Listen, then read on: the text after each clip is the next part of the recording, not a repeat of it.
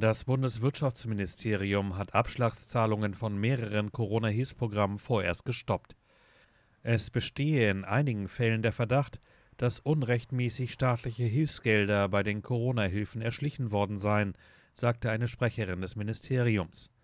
Die Abschlagszahlungen seien kurzfristig angehalten worden, eine Prüfung laufe.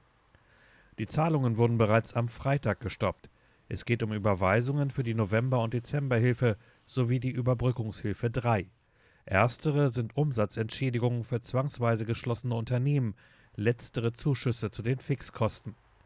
Viele Hilfen können nur von Steuerberatern, Wirtschaftsprüfern oder Rechtsanwälten beantragt werden. Die Höhe des Schadens ist noch unklar. Die Sprecherin ergänzte, unmittelbar nach Kenntnis von Unregelmäßigkeiten seien die zuständigen Stellen und strafrechtlichen Ermittlungsbehörden informiert worden. Diese hätten bereits Ermittlungen aufgenommen. Das Online-Magazin Business Insider hatte zuerst über den Fall berichtet.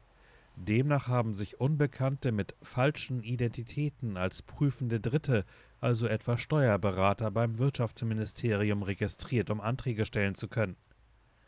Es sei schade und bedauerlich, dass hier versucht werde, die Not der Unternehmen in der Corona-Krise auszunutzen, sagte die Sprecherin des Wirtschaftsministeriums.